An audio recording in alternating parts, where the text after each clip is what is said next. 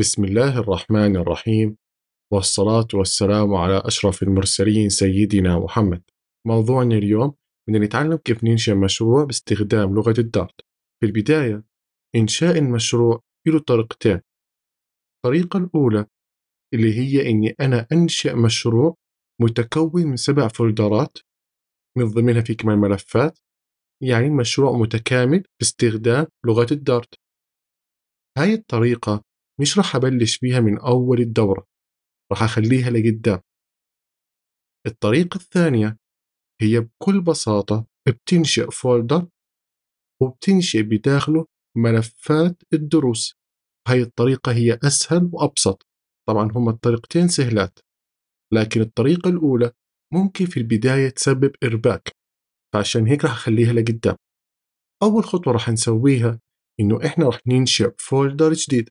طبعا هاي دورتنا على القناة Dart 2023 هتلاقي فيها كل المحاضرات بالترتيب. في نقطة مهمة هون مثلا محاضرة رقم واحد اثنين ثلاث solution معناته حل للدرس القبلي تمام؟ يعني صار في عندنا مشكلة في install Dart for Windows نزلت له فيديو لحل المشكلة هاي. مش حاط أنا هون هاشتاج أربعة خمسة ستة سبعة. محاضرة اليوم هي رقم ثمانية. طيب ممتاز. إني أسكر هاي. طيب الموضوع جدا بسيط. كان Windows أو كان Mac الاثنين نفس المبدأ لكن في ال Windows في عندنا شوية تحفظات. طب إيش هي التحفظات؟ شو بيحكي لك؟ لا تنشئ ال folder لا على ال desktop ولا على ال download ولا على ال document ولا على الفوتو ولا على الفيديو. الفكرة من هاي ال folderات في شغلة عندنا إياها في ال Windows اسمها OneDrive. هي عبارة عن cloud بتصير تخزن ملفاتك وترفعها على خدمة سحابية. إحنا عشان ما يصير معنا مشاكل في المستقبل ما بدي تنشئ folder الدورة على هاي ال folderات. طيب تمام. وين أنشئ ال folder؟ من الأشياء ال recommended كلمة recommended يعني الموصى به.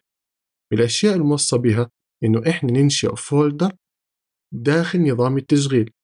يعني. روح شوف ال partition. إيش يعني partition؟ مش بيكون في عندك C D F حسب شو كان المسميات افتح ملفات ال Windows. راح تلاقي إنه في عندك هون ال C وعلى الأغلب بيكون دائما جنبه رسمة ال Windows. ممكن تكون أنت منزل ال Windows على ال D أو على ال E المهم داخل partition ال C أو ال D أو حسب وين موجود عندك نظام ال Windows بننشئ folder جديد. افرض مثلا إنه ال C انت حاط بداخلها ال Windows لكن ممتلئة. هون بنروح على ال partition الفاضي. لكن أهم نقطة ما نقرب على ال folderات اللي أنا حكيت لك عنهم في البداية.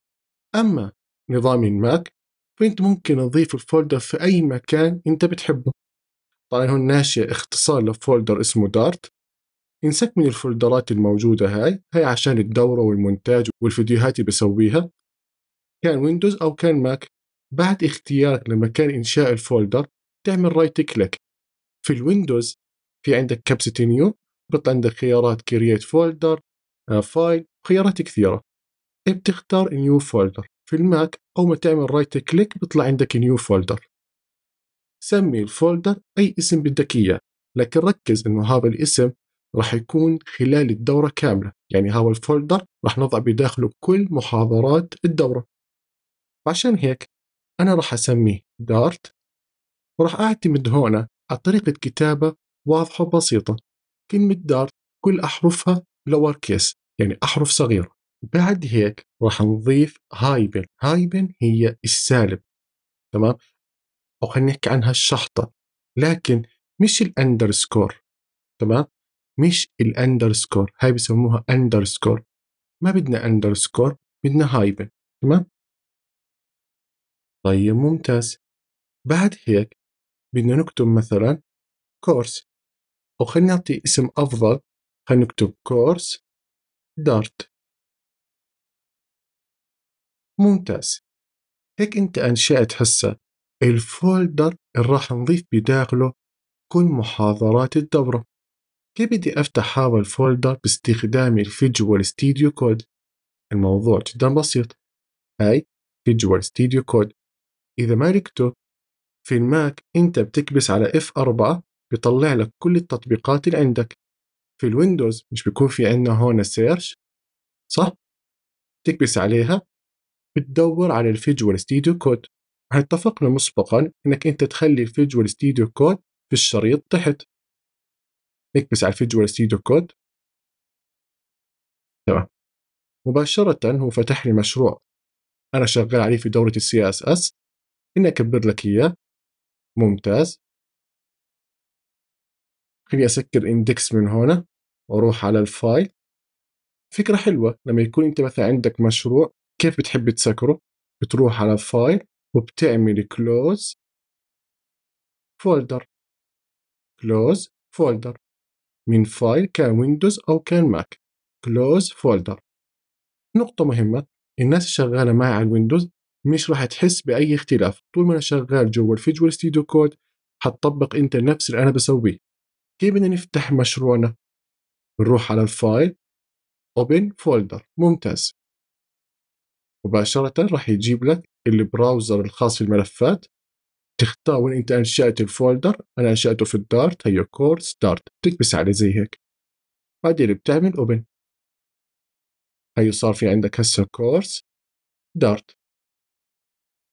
أتمنى إنه كانت الفكرة سهلة وبسيطة. إن شاء الله في المحاضرة القادمة راح ننشئ أول ملف إلنا باستخدام لغة ال Dart إذا كملت الفيديو معي للنهاية علق أي تعليق بدك إياه لكن ضيف مع التعليق وردة عشان أعرف إنك أنت كملت معي نهاية المحاضرة. وبنشوفكم إن شاء الله في المحاضرة القادمة ويعطيكم العافية.